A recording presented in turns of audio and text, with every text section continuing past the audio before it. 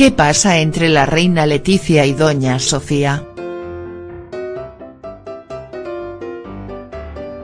Dos días después de la tradicional misa de Pascua celebrada en la Catedral de Palma, a la que asistieron tanto los reyes de España, Felipe V y Leticia, como sus hijas, la princesa Leonor y la infanta Sofía, y los reyes eméritos, Sofía y Juan Carlos, se ha convertido en viral el vídeo que recoge una escena que no deja de generar comentarios en las redes sociales.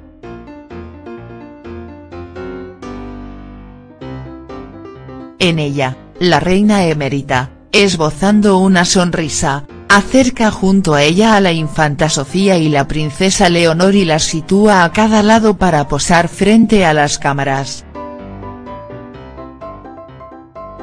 Sin embargo, apenas segundos después la reina Leticia se cruza en el plano, situándose entre ellas y los fotógrafos, y se acerca a la mayor de sus hijas, a la que acaricia peinando su flequillo.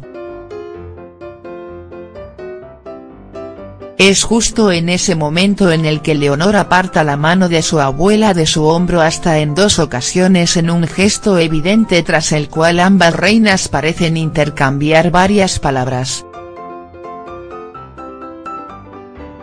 Finalmente, Felipe V, con el rey Juan Carlos también de testigo y con cara de no entender bien lo que está pasando, se aproxima a ellas, tocando levemente el brazo a Leticia y participando también en el diálogo.